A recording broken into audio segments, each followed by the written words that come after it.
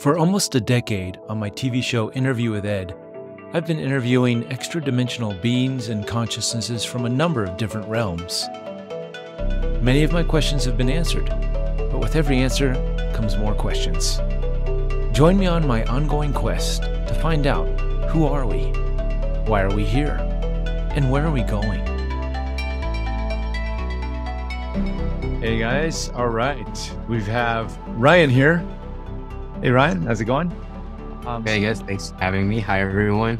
Yeah, yeah. So I uh, just wanted to wanted to introduce you, and here we are. We've got you as a guest, and uh, would love to hear your story. I think many of the folks on the call and the membership here are going through a similar journey in awakening to their channeling um, abilities, and your stories unique but familiar. So I'd love for you to share, introduce yourself, and and and tell us how you got started in in the wacky world of channeling. Sure.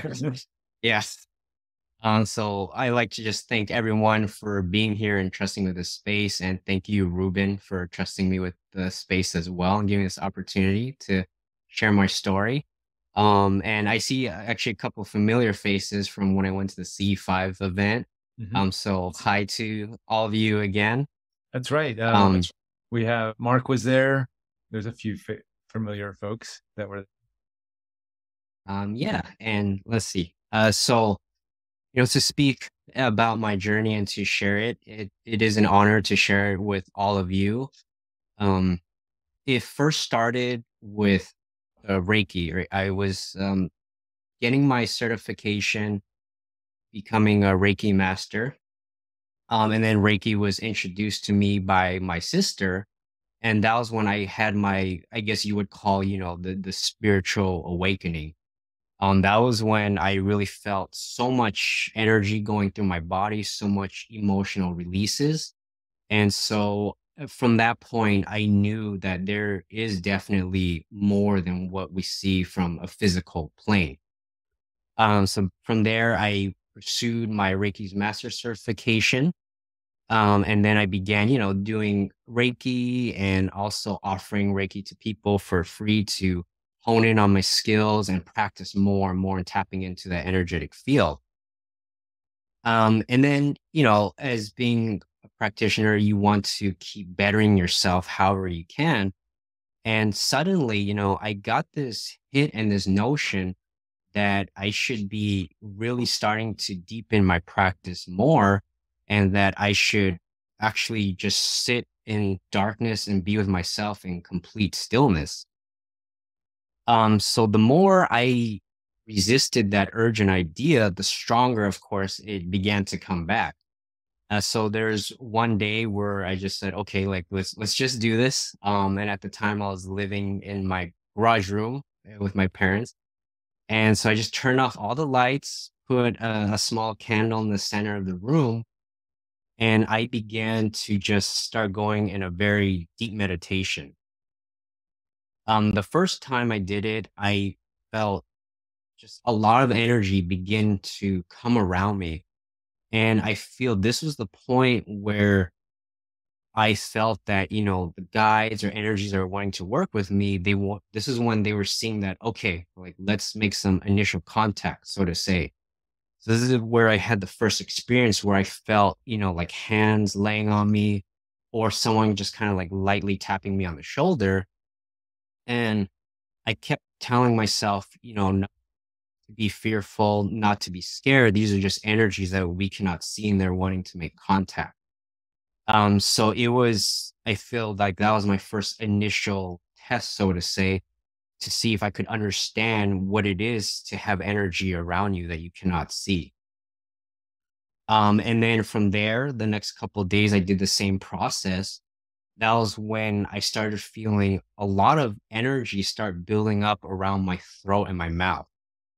Um, and at the time, I didn't know what that meant. So, you know, of course, when we are fearful of something that we don't know, we are automatically, we're just trying to suppress it. And so that's what I ended up doing the next couple times is I just kept suppressing the energy and trying to push it down. But of course, you know, each time I tried to push it down, the stronger it kept wanting to emerge over and over. um, it got to a point where anytime I tried to meditate, even if it wasn't even darkness, the energy would just want to come out.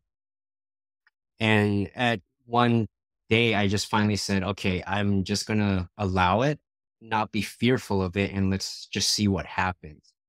Um, so as I sat there, that's when I began um, toning. And I just kept toning for like hours and hours and hours. Um, and it felt good. It felt refreshing. And each time I got out of it, I felt I was so much more centered. Um, I was a lot lighter. A lot of the energies I felt that were maybe heavy around me just felt like it dissipated. Um, so I just continued with this practice.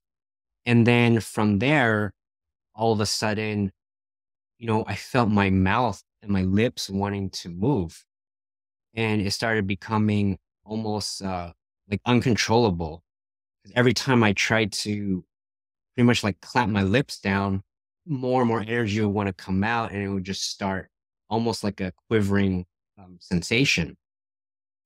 And so from there, I said, okay, let me allow this again. And what I started noticing was that I was making kind of like the vowel sounds. I was going like whoa, we, we, oh, whoa, we. And then I said, okay, let me allow this a little bit more. And soon enough, it was like fragmented words. Um, and then just like fragmented sentences were starting to come out. Um, and at the time, I had no idea what channeling was. And I, it was something that I was not seeking as well. And so I was reaching out to my Reiki teacher, which I'm very thankful of, which was very supportive at the time. And she was like, Oh my God, I think you're beginning to channel. And so I said, I, you know, I have no idea what this is. And she said, you know, don't worry. Um, you know, just make sure you ask for like the highest good, the highest energies to come through. And she's like, don't be scared and just allow it and always ask, you know, she's like, you're always in your own power and just ask. And so as I started to do that, then that's when just full blown senses started coming out. Um, and I, it was the first time I experienced where it would just be like a pouring of inner dialogue would just come into my head. And then it would be, I would be repeating it. And so I started asking, you know, who are you? Who's wanting to make contact? And at the time too, I was very unfamiliar with like Star Seeds, the GFL. And, you know, I started saying like the, the name Ashtar, you know, Metatron was like, what the heck is going on? you know, and I, I really thought at one point, I was like, oh man, like this is it. I think I might be losing it. Like, uh, until, you know, I, of course, I was very thankful again. I had a supportive um, teacher and some of the community in my Reiki um, class. And they're like, oh, no, no, no, like this is Ashtar. This is the GFL. Um, this is Metatron. And then they're like, you know, check out this person's channeling. It was a very similar story. Um, so with that, it was very comforting to know, um, like you said, Ruben, right? Everybody's story is unique, but similar. Um, so as I started to learn about other channelers, who they're channeling, how their journey started, I began to feel a lot more comfortable and started to trust myself with it. Uh, and then from there, I formed a small channeling group to practice the, you know, my skills and to ensure that it was always a safe container. Mm-hmm. Um, and that consisted of my Reiki teacher, my partner, my sister, and one of my very close uh, friends from our Reiki community too. Um, and so we were meeting up, you know, once a week for almost half a year before I began to slowly start leaking out publicly where I felt comfortable enough. Mm-hmm. And and it was a very good testing grounds because I got to experience a lot of different energies and how sometimes these energies can take a toll on your body physically. Hmm. And so I was very thankful to have that container to help, you know, with managing the energy, um, almost pretty much like providing support or like medics in an energetic way. Um, Can we get into that then, for a second? I, am yeah, yeah, of course. I'm curious. Um, what, what physically what what was going on? What were you feeling that was sort of taking a toll or Oh yeah. Um, so as I began to channel, you know, more energies, I started to feel like my body was shifting from like different frequencies and vibrations very quickly. And at times I would feel, you know, where I would, I thought I would be channeling for only five minutes and then it turned out to be an hour, vice versa. Mm. And when I would come out of it, I felt very drained, um, like as if I almost, you know, just ran a marathon. right, right. Okay. Um, and then I had to get used to what we associate with, like, you know, the ascension symptoms, your body um, integrating and assimilating all the different energies that are coming through. Mm. And so I, there would be moments where I would feel like my heart was palpitating very, very fast. But then when I actually physically touch it, it was still at a normal heart rate. And so I had to get used to how it affected me on a physical um, level. And that was where I began to, you know, start asking, what can I do to prep myself better and become a better vessel? And that was when I was getting a lot of information of, you know, you must treat your body like a conduit for electricity. So it's like, you know, you want to be taking care of your physical part, the the nutrition, um, the daily discipline and grounding, meditation, and clearing of mind. Mm. Um, and so those were like, you know, the things I learned and the symptoms I experienced while, you know, learning to channel more and more. Well, may, maybe they were uh, sort of also uh, uh, a checklist to keep you in check for uh, for making sure you're you're tapping into the highest energies possible. Yeah, um, that was a a, message I got reoccurring as well. Right, right. So it was like, you know, if you're gonna be the example that they used a lot for me was like electric conduit. Mhm. If your body's gonna be muddy and murky and kind of dirty, you're not gonna be the best vessel Right. to channel these energies and to connect to as well. Yeah, I recognize that in you. I recognize, you know, just in our brief conversations that you were still developing, still doing the work, and as everybody is, most of the, I think, uh, all the channels that I I reach out to and try to have on the show are are of the stance that there's still, you know, inner work to be done. That nobody is, you know, oh, I'm the I'm the head honcho channeler, and I don't have to do any personal work anymore, and it's all good uh, I, I try to, st- if anybody says that, I try to go the other direction. Um, Yeah. Yeah.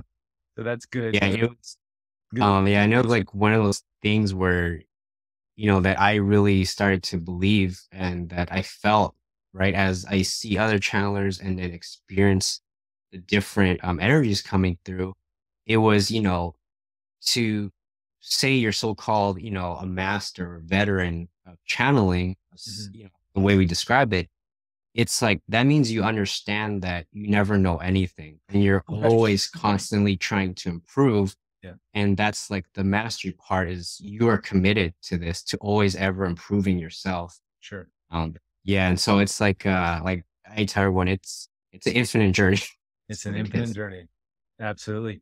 So what were some of like the first energies that were coming through? Did that, that actually had names or maybe that we're familiar with here in our, in this group? uh yes. So the first one um to make contact was metatron. Uh and then after that it was ashtar um, and then anubis. And Oh. that's I yeah, um, Anubis was one of the first very early energies that um I made contact with.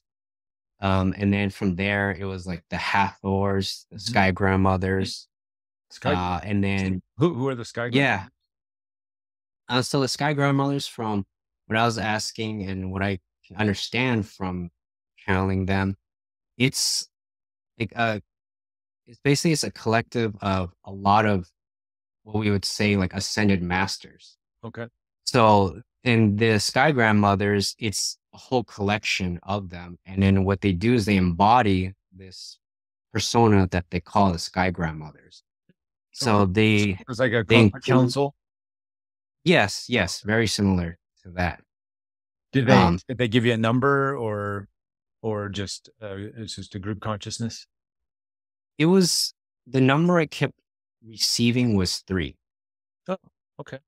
So yeah, so the it was three from when we did a lot of our channelings. Um, but what they were wanting to understand us to understand was that you know even though right the what we were feeling was a number three but each energy has been collected by so many other different consciousness okay. that it's hard to say you know it's like just three because uh, when you feel into them you just feel so much of the knowledge and how much that they have been through too as right. well to get to this point in their understanding. So like three different collectives merging into a larger collective. Yes, yes, exactly. That's like the perfect way to put it. Awesome, awesome.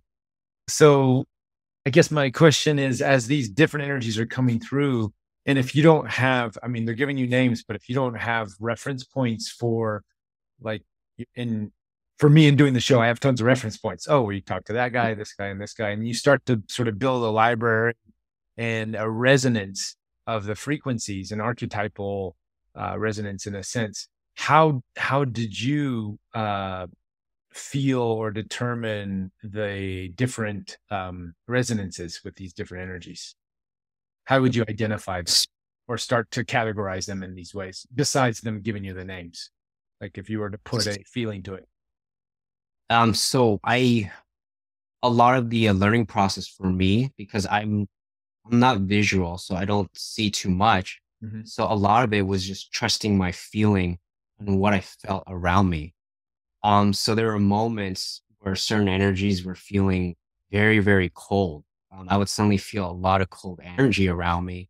Mm. And then immediately that energy would drop in. Uh, so I started to connect you know the dots so to say um, in my own way with my own experiences. Yeah. and there would be times where i would feel you know immense amounts of energy where i felt like something was propelling me upwards or there would be energies where i would feel would be anchoring me down. But and so that's um, what i had to go off as reference when i was you know beginning to build these connections was just purely going off of you know what i could feel what what would be, for example, how do you feel when you're channeling Metatron compared to the third to the grandmothers to the uh, sky grandmothers? Oh yeah. Um. So like when I was first connecting with Metatron, I would feel an immediate like like someone was covering me with energy, almost like a blanket. Uh, so it was almost like a very like nurturing energy to almost let me know like you know hey it's it's safe this is a safe container mm-hmm. uh, and then with the sky grandmothers i would feel just a lot of immense energy just rushing from like, the base of my body up to my crown mm. and so when i was feeling this i would ask you know okay like who is making contact or who is tr- wants to and then, so then when I would receive the names, then I would, you know, slowly try and connect and remember what it felt like as they were initially making that contact. Well, when we were at Giant Rock that time, you know, Elizabeth gave her sort of downloads and I had, I, I, I had intuitively thought about the Hathors, and I don't know if I mentioned or whatnot, but I think you you had popped and said, "Oh, I could, ch- yeah, I can channel the Hathors," and I'm like, "What? Okay, let's do it." So, um, what was, you know, what's your mechanism to make that connection? How do you pull them in to to to channel that, uh, or was that energy already there and you were just tapping into it? How, at that time, how would you like make that conscious decision? Uh, so I think at the at that time, um, yeah, it was actually um my partner Jessica who was just like, oh yeah, like you know he's he's channeled for. Oh, that's right. Um, that's right. She did. She said that. Yeah. yeah. So uh, yeah, I got put on the spot there um, right. a bit. That's right. And So when you know that happened, I just had to check within myself. Okay, is this uh, a connection that wants to be made with me? And so when that was happening, I just sat there for a moment and just fell within myself. And I asked, okay, like, is this what wants to happen? The Mhm. connection wants to be made. And immediately I started hearing the name, you know, Hathor start popping up in my head repeatedly. Mm. And so, you know, to just check and reaffirm, making sure, you know, it's not my ego or anything, you know, I kept asking and feeling into it. And then that's when I started feeling like a presence of energy starting to surround me. And so I said, okay, I think that is the confirmation that they want to connect. I'm like, there is something that they want to share. Mhm. And, you know, from how they do it, it's like, okay, let me go tap on him, Ruben. Let's see what we can kind of like get going here. Sweet, sweet. So when you were making the transition or you, you started Reiki, I think many in our audience are probably familiar with with Reiki and and basic Reiki practitioners. You know, it's kind of it's kind of like Qigong. It's a little bit different. Do you do Qigong as well? I, did I ever ask you that? Or No, I've actually never um practiced it, but it is very similar. Very very similar. Um, I, I've noticed when I've gone back and forth, I feel Reiki is more of a heat energy. Uh, this is for me, where there's heat coming from when I do Qigong, but it's more physical, magnetic energy, sticky, where the Reiki seems not as sticky. It's more uh, heat. That's how I would determine it. I'm sure everybody has their own different ways of determining it. Going from that cosmic heat energy, however that works, I haven't done it enough to really get super familiar with that energy. I'm more familiar with the with the um qigong. But how did that transition into the channeling? Like, what were the signs? Yeah, I meant um so it was definitely like the the energy I started feeling the throat. And then what I began to notice was that when I was doing Reiki sessions, um, it just the channeling wanted to start coming through. Okay, so you're working with somebody on the table, doing the shokore and all of that, Mm. all, going through all the parts of the body, feeling where you feel that heat, and then uh and then it was an additional like physical Yeah. sensation. Okay. Yeah, it was like, you know, I I'd, I'd be doing it, you know, I'd be feeling where there's like dense pockets of energy and I'm like clearing it out. And then all of a sudden, I would just start getting this inner dialogue in. And at the time I was like, I was like, you know, not not right now. Like I'm just trying to do, you know, I'm just trying to do Reiki. Um, and yeah, and then so that's when I started noticing it was wanting to come in more and more. And you know, with the people who I knew who were very familiar with channeling or, you know, or somewhat part of it, I, you know, made sure, of course, they were comfortable with it. And I was like, um, you know, I, I feel like there's a message that wants to be passed through. So I said, you know, are, are you okay with it? And so as I was doing the Reiki, I would just start um, channeling basically. Mhm. And what I was starting to notice and discover was you know how they say like words have energy words have vibration to it i was starting to notice that it was kind of combining on its in its own way to help clear either the energy or you know there'd be certain messages that they'd be getting and that would actually help with the clearing of you know certain emotions or energies or things that maybe were stuck in them and that would actually i noticed would actually help release it too as well Yeah, I mean, Reiki is releasing the energy, but uh, when you can sort of have a dialogue with somebody and help them, you know, walk them through some of those emotions, then that's uh, that always helps. yeah So, uh, so you you mentioned your Reiki teacher was familiar with channeling. Uh, had did your Reiki teacher have any favorites that he she was it, I don't know mentioned? Yeah, um, yeah, she's actually um in the chat. Her name's uh, Queenie. Oh, okay, Queenie. Okay, I see Queenie here. Yeah, um, yeah. Her her favorite was that I got introduced to was Kryon. Okay, yeah, Yeah, Lee Old school. Yeah. yeah. Um, so I, the the first thing she was just like, "You gotta listen to Kryon. This just listen to this, and you know, like you'll be good."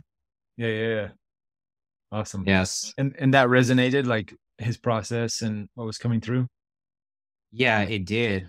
Um, because of the the process was similar to how I was channeling.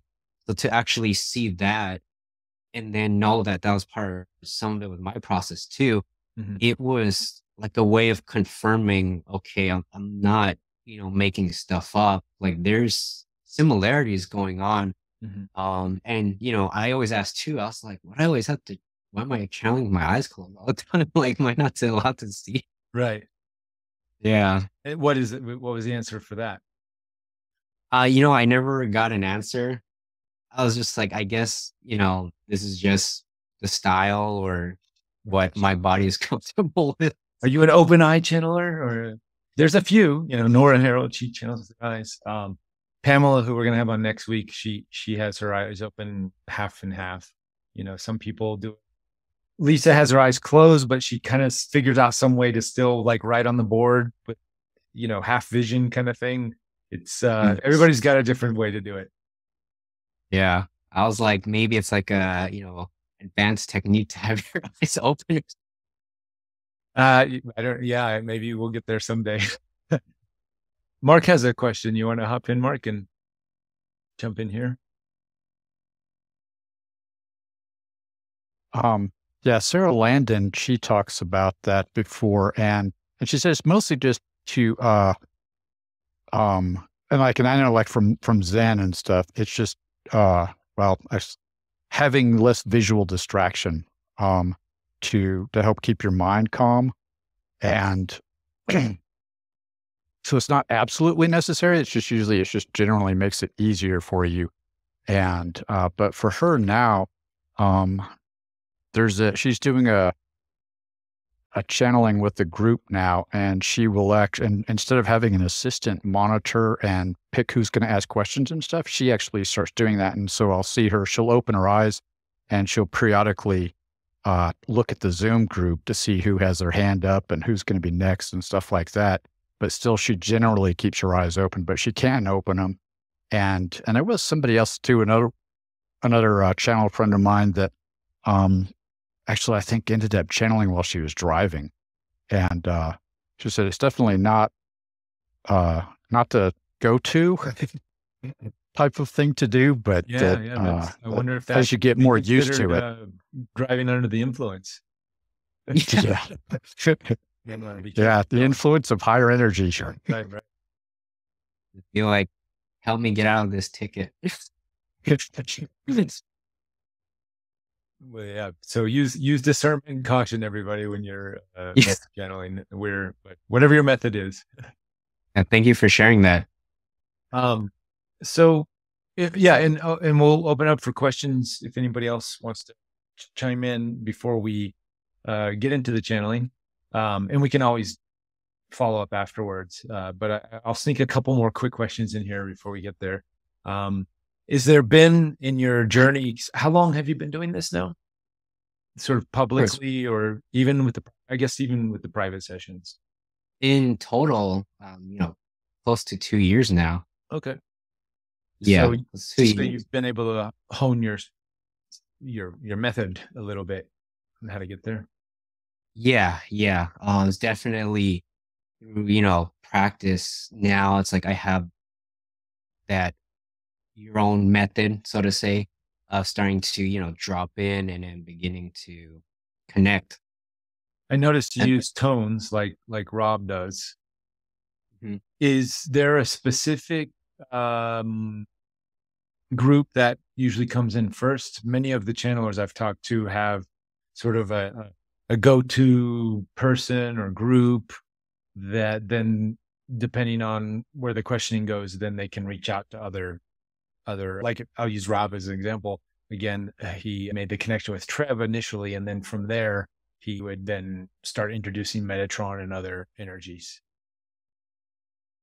Yeah, the it seems to be different depending on, you know, the stages where I'm at. And then also I've noticed the group either I'm channeling for or the collective, or sorry, for the individual. Right, right. So lately in the the co-channelings that I've been helping facilitate, Kryon has actually been coming in a lot. Oh wow. And then yeah, yeah. Um that was definitely a shocker when I that energy came through. I had to ask, you know, what you know, how how's it that I am channeling Kryon? Right, right. Yeah. Um, Can you explain that? How is yeah, it? yeah. Uh, so I'm curious. Yeah, so I know for anyone who's a big fan of Lee Carroll, you know, there's no disrespect to him or anything. Mhm. Uh, so I asked, you know, how is it that I'm able to channel Kryon if there is someone out there who, you know, is channeling Kryon's energy for so long? Mhm. And so when I asked this question, they're saying that, well, first you have we have to get out of that notion that a channeler is like attached to an energy. Like that is their go to. So it's like you need to remove that out of your mindset and to remember that, right? What you're channeling, there's no physical limitations. Everything is energy and infinite. And so they're saying that when you are on your journey, there's going to be certain energies that will come through and you make contact with because of, you know, the vibration frequency you start being at. And so you are connecting to that energy or consciousness. Mhm. And during, you know, a certain period of your journey, that is the energy and consciousness that is going to aid you and guide you on what it is that you are setting out to do. And so that was, they're saying, you know, that is why there's so many people who claim they, they are channeling uh, Metatron, Ashtar, the GFL, different Arcturians. And it is because it's like, like how we say it's like the iCloud or the internet. Mhm. We are tapping into different parts of that consciousness. And what we are setting out to do, they're giving us that part of it that is going to aid us in the best way. So, yeah, same. I've mentioned this before, and there's been a, a few different channelers for Bashar, and uh, Mhm. and then so we associate, you know, when we say Daryl Anka as being the most famous, but when we talk about the other versions of Bashar, we sort of associate. We say like Daryl Anka Bashar, or Andrew version of Bashar, or you know Ayako Sekino's version of, you know, we don't even say the version. We just say first name Ayako Bashar, you know, Andrew Yeah. Bashar, Daryl Bashar, you know, even uh, uh, Roxanne. I don't know if she's on the call yet, but uh, she's channeled, you know, uh, Elon and uh, um, and other Sasani beings, uh, and Bashar sort of rolls in there sometimes. So it's, uh, uh, you know, making that that distinction because it's still it's still different. It still has you know that personal whoever's channeling it still has their um flavor to the bigger flavor Yeah. if if you it's like right everyone there's a lot of people that can make you know pasta or pizza everyone has their own little specialty to it I like that. Yeah, totally. Um, I I have man. I do you based on the energy now. Do you have like an idea of who might want to come through for for this group? Is there? i feel the as i'm starting to feel some energy um Mhm. definitely seems like ashtar wants to come through and then perhaps Kryon as well Um, do you want to start getting into it? yeah i'm i'm happy to start um settling in and, and getting into it Because you know, based on whoever comes through, I've got I have tailored a few tailored questions. okay So uh and then and then we'll do a follow up at the end uh when you when you come out. Is that okay? You you you seemed to last time kind of snap out of it pretty quick. So you so you, we could do a follow up questions with with you at the end. Yeah yeah that's um no problem at all Okay, sweet. Let you do thing. Um, and then just for everyone who's on the call, uh, I usually start with a bit of toning. Um, and then also, I know sometimes when the channel messages come through, I didn't, sometimes light language has been coming through as well. And I know everyone is affected a bit differently by it.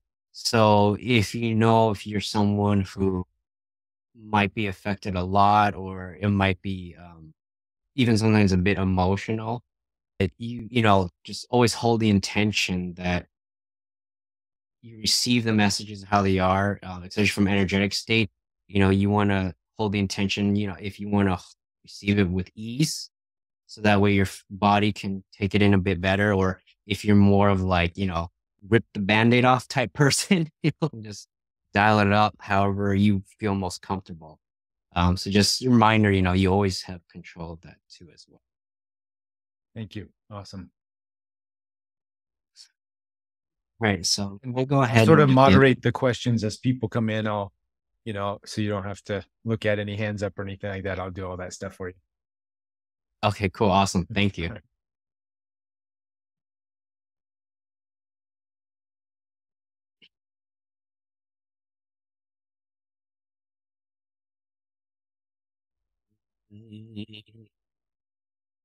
よー。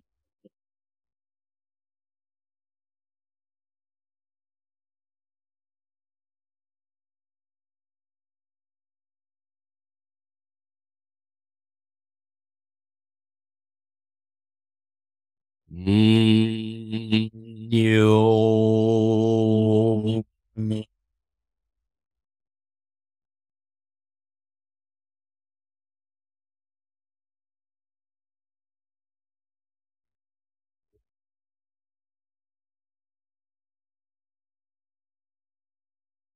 Hey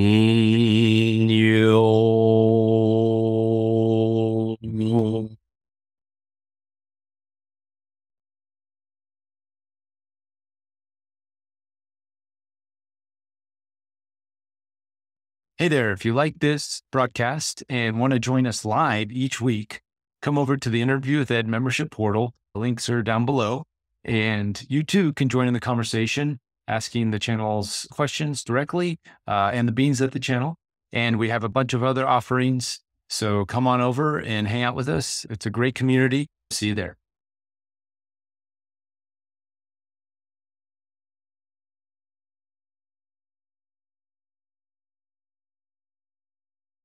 Is I, Ashtar. As I have returned again, bring you a message. You is called Reuben, and those in this container. At this moment, there are many of you that may feel much turmoil and internal conflicts within yourselves.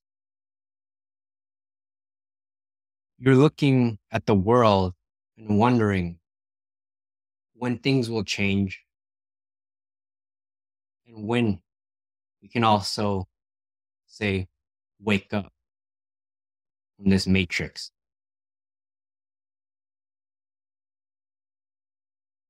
I know that you all want to help others to raise the frequency and the vibration of the collective so that we can usher in this new earth energy. We want so badly to help fellow humans, star seeds, and light workers. We see and feel the pain that each of us carries and how that extends to those we love and those we have connected with. This is a moment you must remind yourselves that each individual that has contracted to come here has their own path and their own journey to walk. For we are merely guides for them. There is still free will that is given. And all we can do is plant the seed and give guidance and nurturing when it is best needed. We cannot do the work for others. What you can do is to continue do the inner work within yourselves and ensuring the decisions you make have intention to align with your highest path. And in doing so, each of you begins to emit a frequency much like a stone being dropped in the water. That rippling effect begins to echo outward. People feel it. They may not say it, they may not acknowledge it, but they feel it. And there are times when you are within yourself feeling joyful and just pure bliss. That alone can trigger someone within your space where they see that you are happy, that you are doing what it is that you love. So they lash out at you. And you wonder, what did I ever do? And in these moments, this is what you have contracted. You were that catalyst and that trigger for that other person. Something inside of them made them feel small, insignificant, not worthy, or it stirred up all those emotions of unworthiness. And these are the moments where we must remind ourselves we cannot do the work with the individuals. We can be a guide and offer space.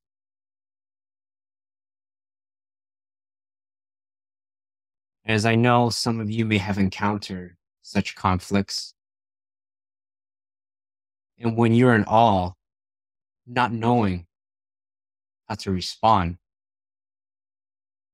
you must first remind yourself not to react, but to understand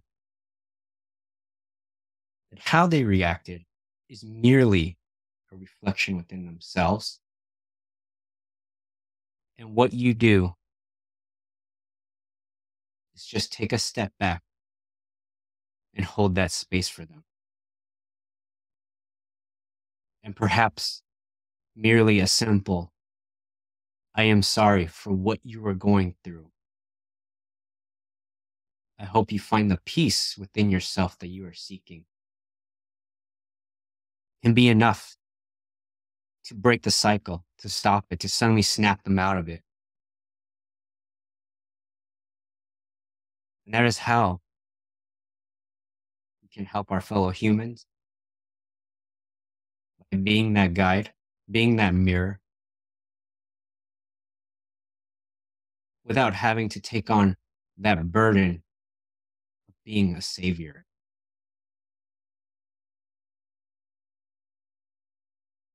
Where there is always much work to do. So remind yourself to overstress yourselves, overstretch yourselves. The best way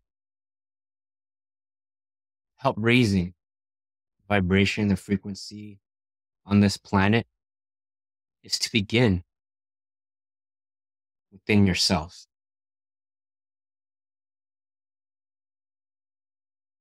And each of you here has such special tools and gifts. So when we work on ourselves, that light that is within us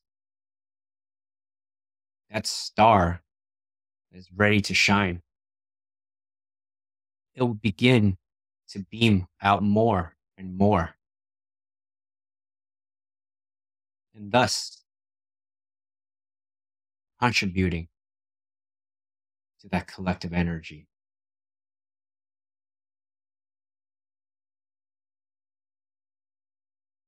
And if you find yourself at moments where you feel the work is getting too much. There seems to be no end. No matter what you do, continuously struggling, hitting a wall, I encourage you to continue forward. Whereas when we are just about to give up, to let it all go, that is when you're just about to make the next jump, next step in your journey, that breakthrough moment. Where you see when you're becoming more and more aligned with what it is that you feel that your purpose is and your highest path, you will have to let go of some of your so called older selves.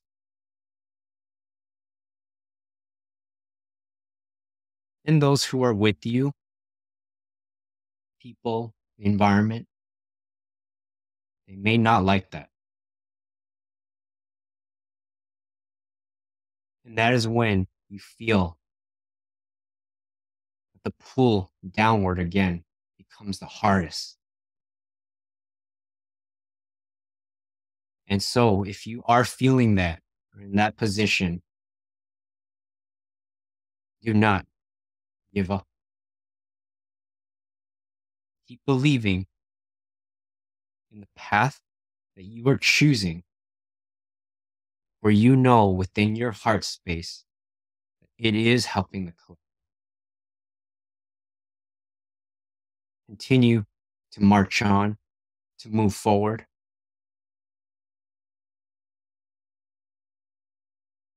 If you feel your thoughts become very scattered, clouded, go back to your practices.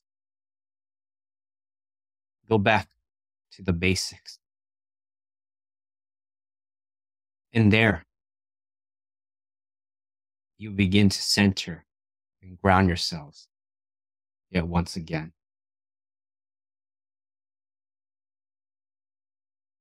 So I thank you all, all your continuous hard work. We thank you. For it is a collaborative effort. Yes, thank you. I feel like you've been talking about my day, my daily life every day of late, running into uh, that exact scenario that you just described of uh, knowing how to create space or hold space. Uh, and and I was going to ask, are they kind of one and the same? Holding space for someone else is essentially just making space. Sometimes giving a little distance between um, someone that we may have conflict with, uh, so that the problem can be uh, organically uh, fixed, not fixed, but uh, transmuted. Yes. This is where the micro macro perspective comes into play. Or when we are in conflict with someone, if we're always in that energy, we never have space, even for ourselves, to step out and take a moment and look at the situation as a whole. And at times, we want to help someone so much that we forget it is about their journey. It is not what we can impose. It is not our say to how fast we can move someone on the chessboard. Everything happens with divine timing. And as you care for someone who you are trying to so called wake up, look at things from such a different view, we must always remember we cannot force it. Then we become that energy that we were not trying to be. And so stepping away from the situation, giving it a moment for both sides to breathe, we are then able to come back to ourselves. Perhaps even reevaluate the situation and see if we approached it that we felt was the best Or perhaps there were different ways to go about it. And by providing distance between the two energies, you're able to give those energies time to calm themselves. So that they are not always ready to fight and be in conflict. And now they begin to be in a space of receiving yet again. It's it's almost like when you're, you know, you forget something and you a topic or a situation and you're trying to remember the name or like somebody's name, like what is that guy's name? What is that? What is that? And as long as you're trying to think about it, you can never remember it. And it's like when you take a break and you go do something else, and then the name pops in your head. Something like that. Yes, that is a perfect analogy. Awesome, awesome. I had um since we have Ashtar on on the line, so to say, uh what I'd love to know a little bit more about Ashtar. Is Ashtar a collective or an individual? We are both. Oh. We are an individual from this point of view. Mhm. Yet Ashtar itself is a collective consciousness. There have been many that have been adding to this energy and this consciousness. So to say, a hub. To make contact with those here is best and easiest to show up as an individual. And therefore, making it easier for those who are becoming vessels and channeling to connect.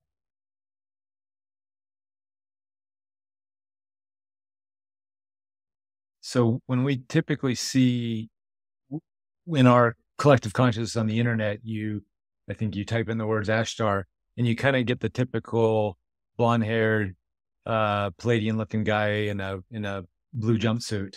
Is, is that, that an accurate representation of, of what the Ashtar, the, the individual would, would be? As an accurate representation, how began to appear to individuals so that now a connection can be made easier from a visual point of view. As others are beginning to connect based on the person as well, that appearance can change. For we are always trying to visualize and change our appearance so that we can best connect with that individual, something that they are familiar with. And so, because this image of Ashtar has become somewhat popular and generalized, so it is easiest for us to repeatedly appearing as this image so that more and more able to decipher easily what energy they are connecting with. I see. In in there's a famous case in 1977 uh, uh, in a British broadcasting where uh, a signal was interrupted and um, during a, a, regular TV show, and a voice came through for about six minutes that uh, declared himself Vir- Vrillon, uh, represented uh, by the body known as Ashtar Galactic Command. And there was a, a, beautiful message that came through about, you know, stepping away from wars and, um, you know, planet Earth needs to sort of move in the direction of, of uh, peaceful um, ways of doing things, getting connected to uh, uh, nature and that sort of thing, or or else there would be some sort of circumstances, not in a threatening way, in a loving way, but uh, it was quite a a powerful message that a lot of UFO researchers like myself like to reference because of the data sets that are left behind. Any anything to say about that? Was that this particular energy or was that something else? that is a different energy of Ashtar. Okay. What we can speak about it is that it is, of course, yes, not threatening way of saying things. hmm It is a cautionary tale, so to say. hmm It is guidance on that humanity must stop dwelling and submerging itself in these lower energies. At that time, the ego was taking over much of the energies here on earth. We had to remind that we must go back, acting and speaking and moving with intention from the heart space. And not from the ego. And that is when we begin to ponder about how I can always be ahead of the other person, how I can be number one, how I can have this, how I can have that. And then forget that how is it that I can create with others, how I can collaborate with others. How is it that we can bring all together? And that is when we referred to being out in nature yet again. But when you go out in nature, you see how so designed in such a way that there's so many species living together and that there is when there is conflict within nature most of it is out of necessity. So that is why we had sent that message out I see. And does Galactic Command uh, or Ashtar uh, work with any particular groups or or uh, other galactic beings that we're familiar with, the Pleiadians or Arcturians or um, these sort of energies? yes we work closely with Pleiadians and the Arcturians Okay. All right. Yes, I already. Was it Zetas at all? Do you guys interact with those guys? not too much All right. Um, uh, let's go ahead and open up questions to the audience, guys. If if anybody wants to to um, ask a question of uh, Ashtar and and Ryan, um, Mark, go ahead. Hi, Ashtar. um, I'm. Uh, I was curious. So, are you a collective of Pleiadian beings? And this notion of you focusing yourself so you appear to be an individual, is that something that's kind of always going to be necessary? Or as humans get more used to channeling, are we going to be able to interface more with the collective? And does that kind of just require us to be able to understand more subtle energies? Yes, we are a collective, Pleiadian energy and consciousness. And when the collective begins to accept that not all things need to be physically seen, as when these singular appearance of Ashtar begin dissipate. And thus, we can connect more and more to our energetic selves. And so when humans become more attuned and more sensitive to the energies that are around them, where they can get out of the mindset of because I see it, therefore I believe it, we can allow ourselves to come forth as their energetic states.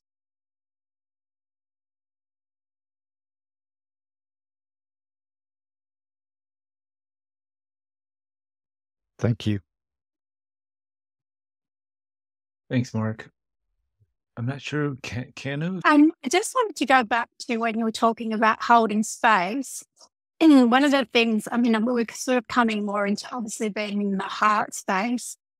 But when we kind of foresee what's happening in our environment, um, and you're quite an empathetic person, is there any tips on sort of, I feel like we hold space, well, I hold space and talk to myself, but I also feel a closing off of the heart because I, I, I feel the, um, I guess I feel, I feel what is happening in the world and all these, you know, things that I can sort of see are gonna um, cause a lot of distress for people. So is there a way of like not closing off your heart space and holding that easier? So I don't know if that makes sense. or what you say, I understand.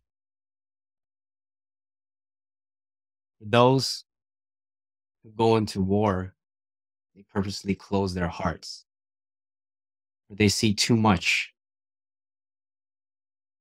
And so they desensitize themselves.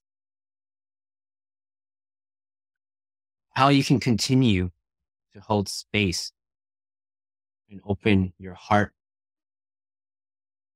without wanting to close it off when you see the pain and the turmoil that is going on is to understand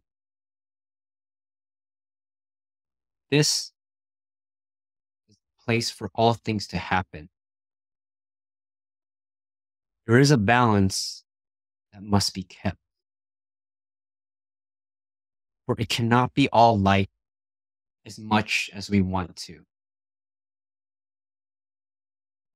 That is path and the journey of the collective at this point. For without friction, without conflict, there can be no movement. And we must ask ourselves, as we look at these things that happen that you can ask yourself, why? Why would these things happen? They're so unspeakable. This is a practice in not closing your heart, but to remain at a more neutral state. This is balance of life. And remind yourself Earth itself is an environment. And as souls are exiting and leaving, it is making room for the new star seeds, the new generation to come through. So that they begin to usher in this new earth energy. and remind yourself that the journey continues on and that we do not know the whole story of what is going on what is being played. We do not know the karmic contracts that are going on in certain areas of the world or individuals. We do not know the whole story we are only seeing what is shown to us at that immediate time and moment. We do not know the story of even before they took this life on this earth at this time. We do not know what happened in past lives and in past moments. We are only seeing what is shown to us right now. Remind yourself of that. And therefore, that will get you out that mindset that everything can be going horrible. These are so many things that are going on, are so hurtful humanity itself. These are unfortunately the lessons that have to be learned to be able to grow.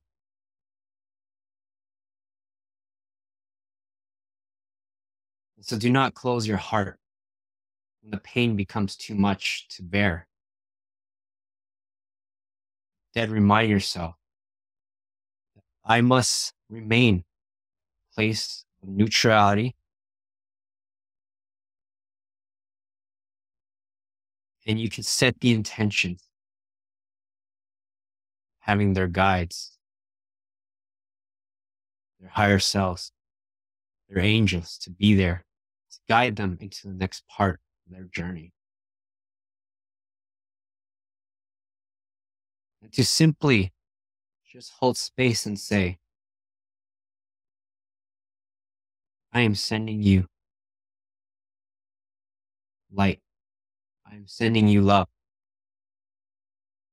I'm sending you comfort. And then go back to that neutral space. So that then we remain in balance. And that we are never fully submerged those low, dark emotions. We are also never, always constantly loving emotions and using that to escape the lower emotion. You must always experience both. To experience life at its fullest, you must experience both spectrum.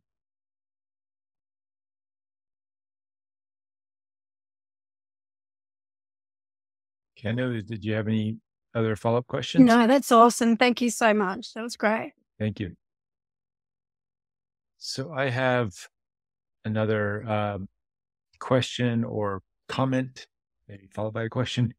Is I'm sure you're familiar that, especially in our community, there's been a lot of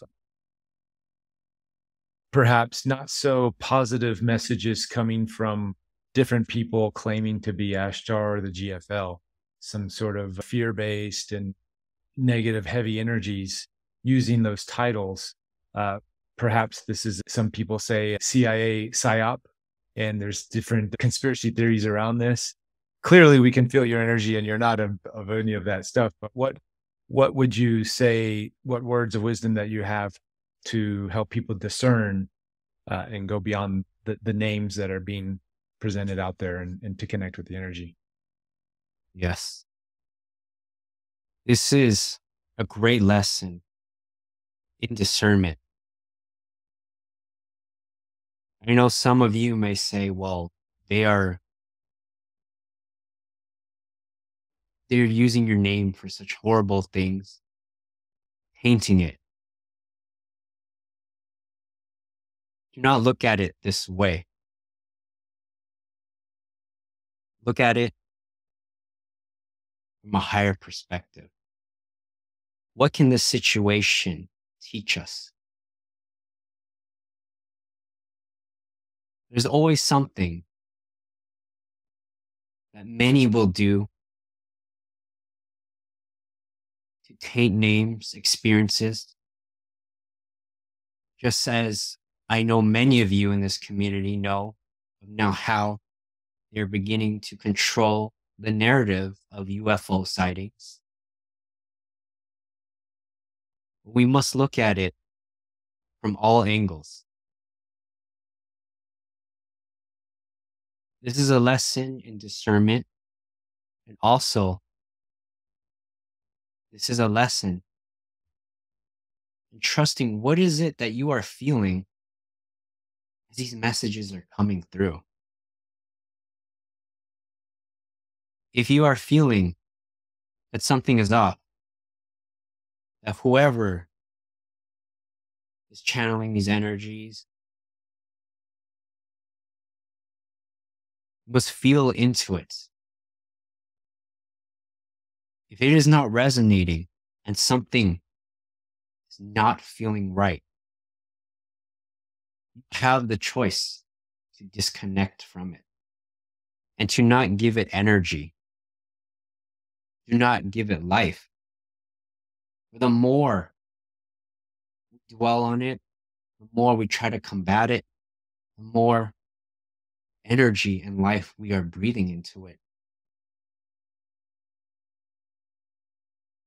So trust what it is that you are feeling. And if you know that there's something else at hand or someone else is trying to begin to plant a seed and you do not feel it is comfortable, detach from it. Neutralize your connection from it. Cleanse your connection. You always have free will to choose what energies you connect with. Remind yourselves of that, for you are all powerful beings in yourselves.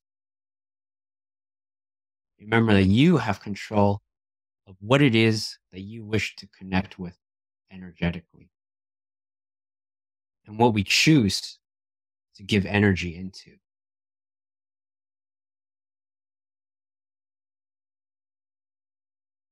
And so, when these things are coming up,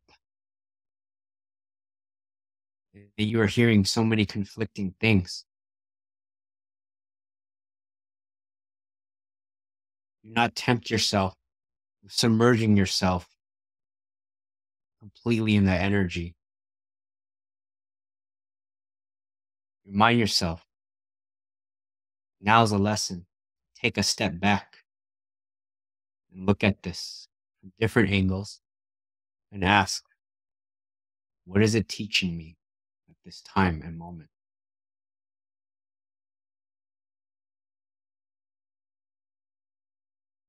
Excellent. Mm, excellent. Excellent. Um, just want to check in with the channel. Is he doing good to continue on? I'm doing good. All right.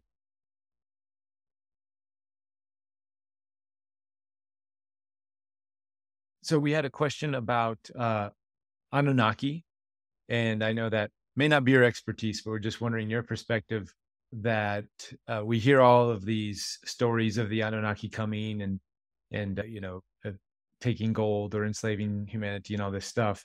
Um, I, I'm wondering from your perspective, what the hell happened to the Anunnaki? Where are they now? And have they evolved and moved on, or are we still dealing with remnants of of their energies here? Uh, how is that all playing out? We are still dealing remnants of their energy. Hmm. But it's not to say, of course, all Anunnaki are like this. There are those who are wanting to reclaim and become who they were before their downfall. And let the Anunnaki be an example of what can come to this earth, to these energies that is a reminder how want to raise with vibration. And so with that, Anunnaki made terrible choices. And choices they have painted their name for so much and so long. See them as an example. What not to be, what not to become. And understand that that can be a very dark path to go down.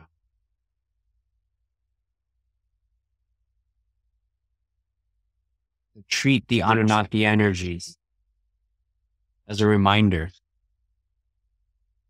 what can happen. We're not here to co-create and help our fellow human. You said that, you know, some of those past not choices, better choices not to go down. What what are some of those, if you could just that maybe perhaps the Anunnaki made that we should uh, be cautious of um, in our uh, individual and collective past as humanity? Greed. Mhm. Greed and always wanting to be ahead of others, wanting to be first. That is what it comes down to. Mm. It is that selfishness thinking about I, the individual, how I, the individual, impacting the collective.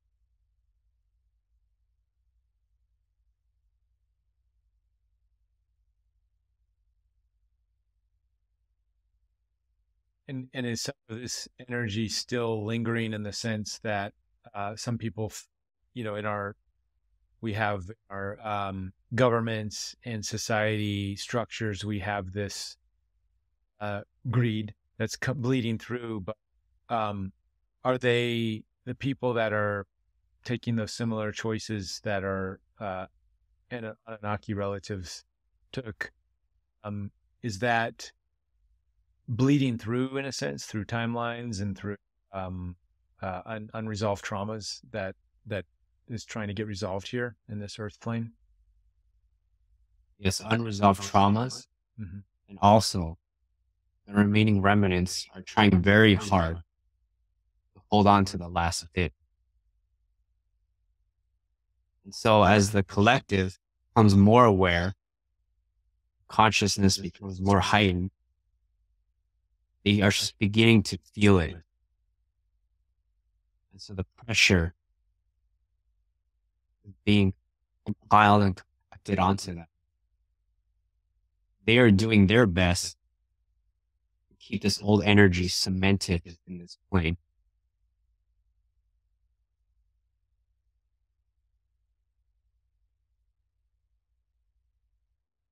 And I take it the best that we can do to navigate that suppression or or grasping onto the old ways is just to ignore it completely. Um, for those who may not have the ability to completely ignore it, what what can they do to to navigate these energies? Do not allow yourself to succumb to it. As much as the weight feels on you and how heavy it feels, and you look around, there seems to be no escape. Not give in. Always look for that North Star that will continuously allow you to see that hope and to feel it that things are changing. It is the little steps that you can take every single day, whether it be being nice to someone, donating, helping your fellow neighbor, perhaps even carry groceries,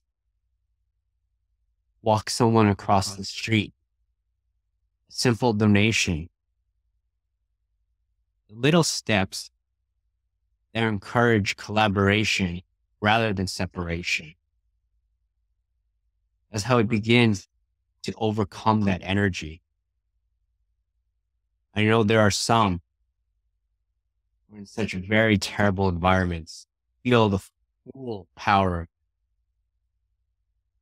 That is what they want.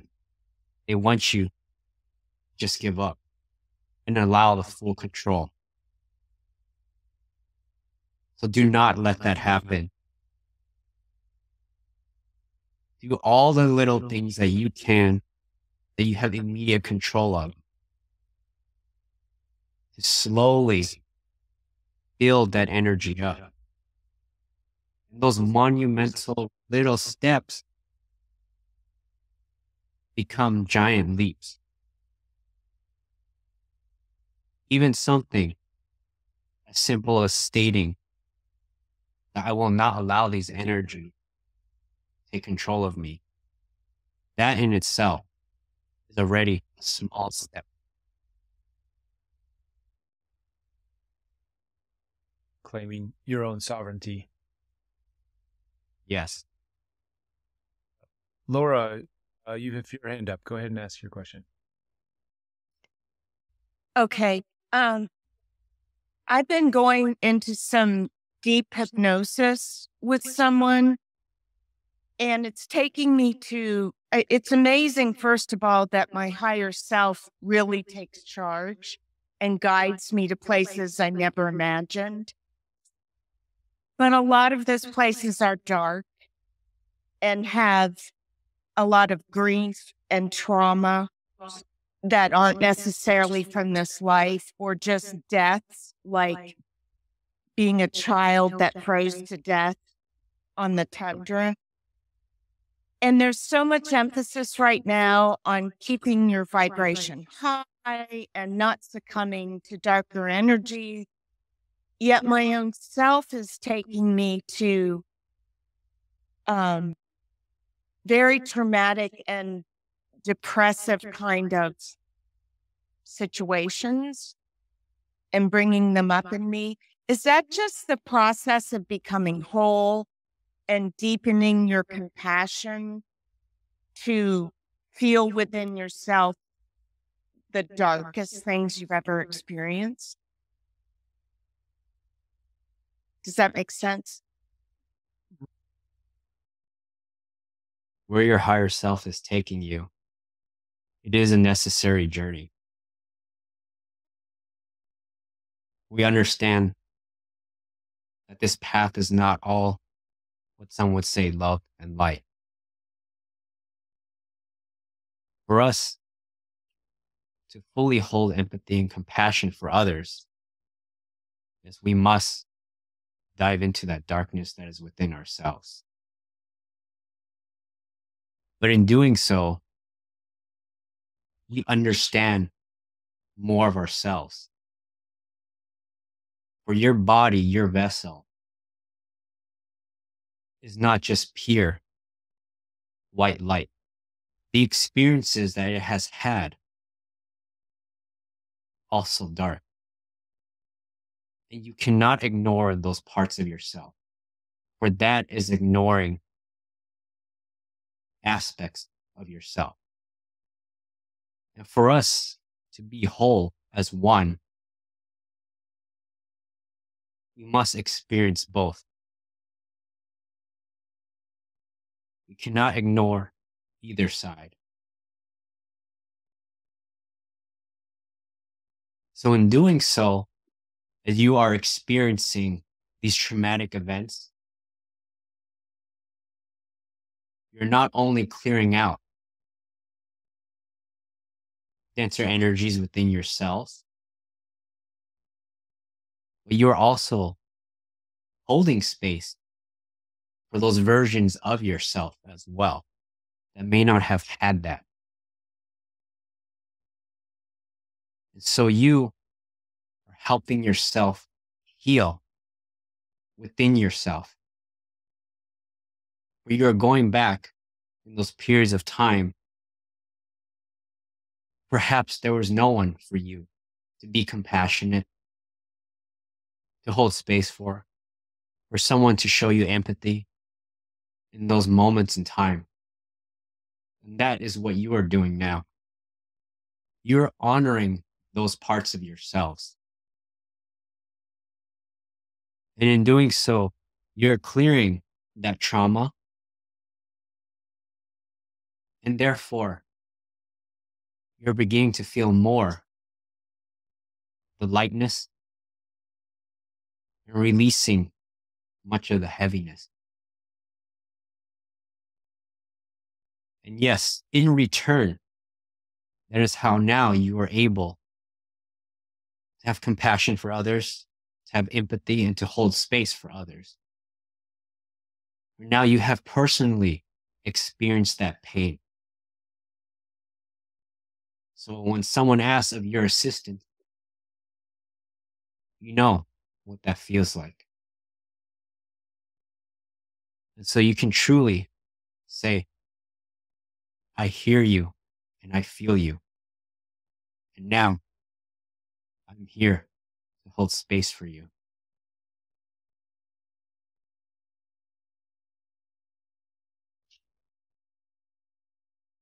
Thank you. Thanks. There's in the chats, there's a discussions about this darkness that we just talked that you just talked about, and how some channelers choose not to talk about galactic wars, history, and these kinds of things of a negative context. They tend some just focus on love and light, which depends how you look at it. That's still love and light. It's just you know how you it's perspective, but maybe it comes across to some people as negative or talking about dark things. Is there something else maybe you could add beyond finding this neutral place to talk about these traumas without having the charge? Is that uh, is someone who doesn't do that work? Are they spiritual bypassing, or are they uh, um, just not looking at what is? Or if somebody's looking at that, is are they uh, focusing on the bad too much and they're not focusing on the love and light? Is there a way to navigate those different areas, or is it just up to the person and the individual and just what they need to do in their life to move forward? There is much of this so called spiritual bypassing where one chooses to live only in one spectrum. And to your question, yes, it does depend on the individual. Or because to be in the neutral state, it must be balanced. As the individual, we do not know where they are coming from, unless, of course, they share it fully with us.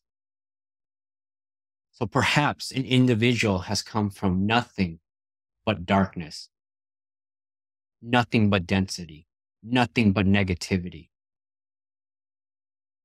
So to balance that, perhaps they must spend a lot more time in the aspects of love and light to see that there is still hope, to see that there is something on the other side. And vice versa, someone who has grown up always very nurtured and sheltered, they may not have ever experienced the darkness or the negativity. And thus, how can that person fully appreciate and understand perhaps what they have, be in absolute gratitude? And also, how can they say they feel compassionate, pathetic towards others if they have never experienced that? So that is why I speak of walking on the plane of neutrality always aware of both, never dismissing either. Engaging on your personal path and your experience. Perhaps there are moments where you must be more on this side of the spectrum and then coming back, perhaps maybe on this side to understand certain aspects and vantage points. And as we are accepting that there is both. And that we are always engaged a little bit each side, that allows us to be better at being not so energetically charged when we are countered with the conflicting energy.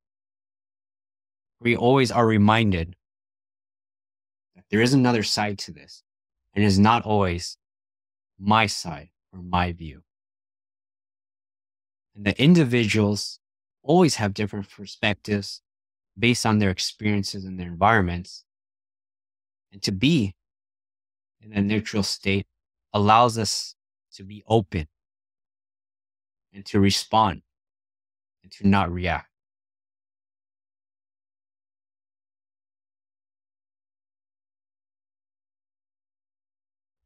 Yeah, that's why interview all these different channelers so we can uh, have a buffet, so to say, so everybody can find who resonates with them, where they're at in their process, and definitely not one one size fits all type of situation.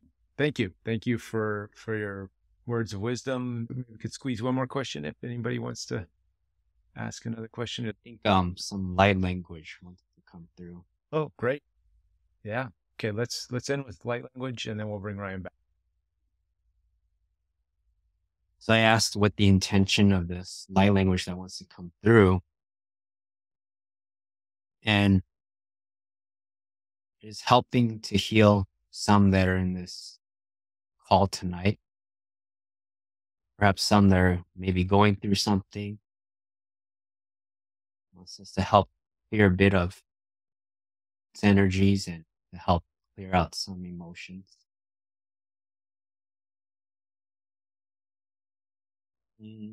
You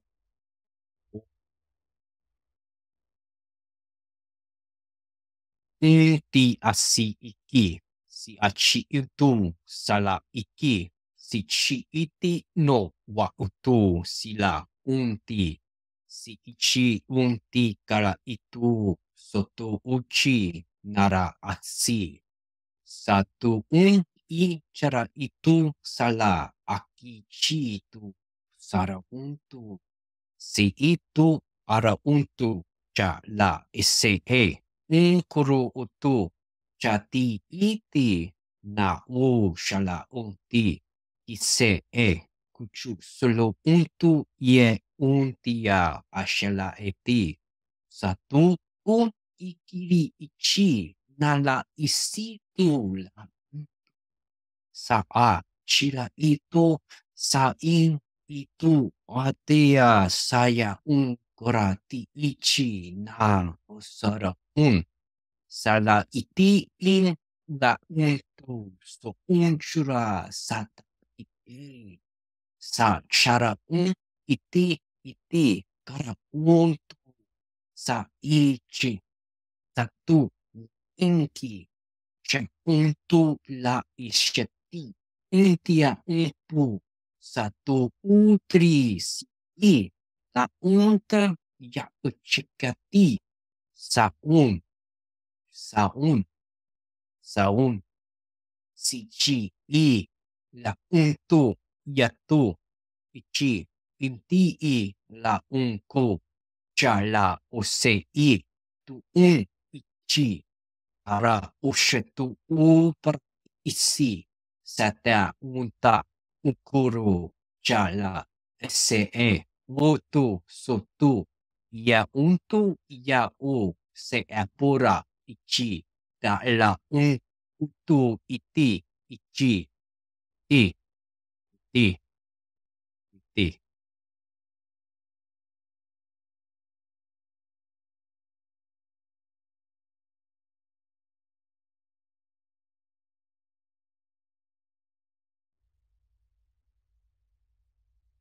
last bits of that light language is what I was feeling was that they were helping to open the heart space for some. Thank you. Thank you. I felt uh, uh, a bit of Lemurian energy in there. I don't know if that's uh, just my mind playing tricks on me, but what what was It's a bit of um Lemurian and then Arcturian energy. okay? Sweet. See, I'm getting it. I'm catching up. oh man!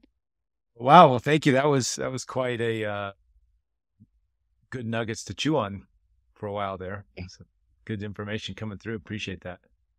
Yeah, th- thank you. Thank you for, you know, giving me the opportunity and, you know, Ashtar to come through as well. Yeah.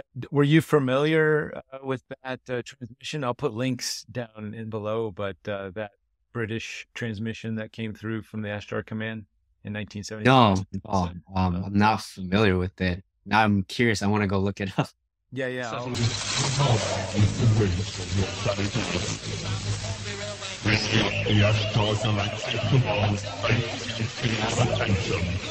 The. We are now leaving stage of your existence. May you be blessed by the supreme love and truthful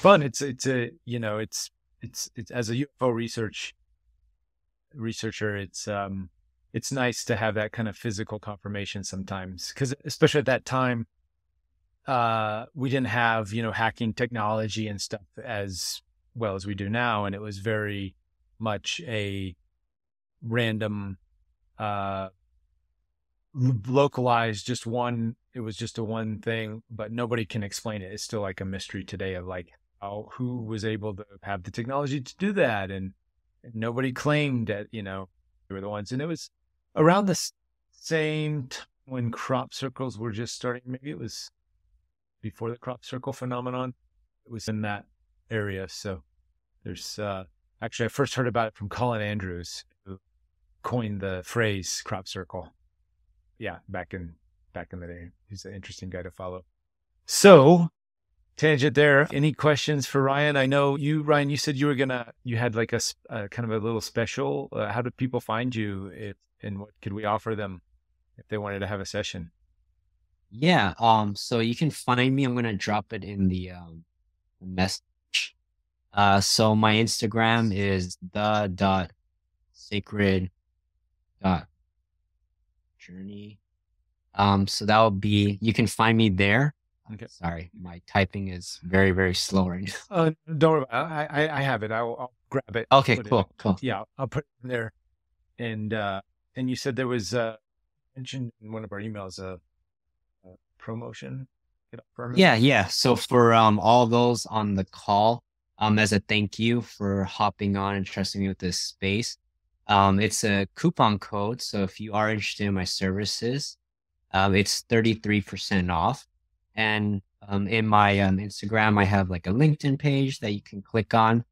And you know, and if you're have questions in general, um always feel free to reach out to me. And you know, if the services when you read it you feel called to but want to know more um you can always talk to me on social media and then we can always schedule like a 15 minute call too just to discuss also as well Well, I definitely, uh, you know, each time I hear you uh, do your channelings, I'm they're resonating, you know, more and more. So I, I feel you're definitely you got the magic of fairy dust channeling fairy dust sprinkled on you. So, um, I'm sure in no time you'll be uh, up there with the others. You know, uh, we didn't get a chance to talk to K- Kryon today, but uh, No. it's okay. We'll we'll we'll we'll let Lee do that. I have been talking to him actually about doing an episode, so we'll do that. oh nice very nice Um, so, but, but at some other point, I'd love to have you back on just to, you know, compare Kryon notes if that's a possibility. yeah yeah that would be that would be very fun and interesting to Yeah. do i'm t- totally up for that You know, we have to also respect these, as you did respectfully in the beginning, mention, uh, um, you know, your respect and, and honoring of the Kryon energy and Lee, and same with Bashar and others. I've been talking to Andrew, who used to channel Elon and Bashar around when Darryl was getting into it. I'm so curious to hear his story and how he stopped channeling. He uh, just he was channeling Bashar and put out a ton of content and then just stopped, or it switched over to Elon and then then then it stopped. So, anyways, hopefully we'll have interesting notes to compare with people channeling different, or I'm sorry, different people channeling the same entities. This is going to be an ongoing subject that we're going to address here and demystify that that idea and and and uh, hopefully in a good way. I don't know how it's going to turn out. I think the Kryon thing is kind of cool too. So uh, lots of thank yous. People are are, are saying thank you. Uh, we we have a um, sort of an after talk talk that we do amongst members. Uh, you're welcome to join, Ryan. Uh, you're, you're probably like me, have to go pee. so, uh, but we'll go ahead and shut this one down, and then uh, I'll start the uh, I'll start the the new recording. So, thanks again, Ryan. Uh, and we'll hopefully we'll see you here, and recommend everybody to to look Ryan up on his Instagram. Links will be below, and definitely book a session. He's awesome. thank you thank you so much for the opportunity once again thank you to everyone here Thanks for tuning in. Uh, hope you like this interview. We actually do this every week on my membership portal page. And you can access it through interviewwithed.org or uh, click on the link uh, somewhere in here. I'll put a link and uh, come over and join us. You too can ask questions. Every week, we have new special guests, and you get to ask questions directly to the channelers and to the beings that they channel. So, see you in the portal.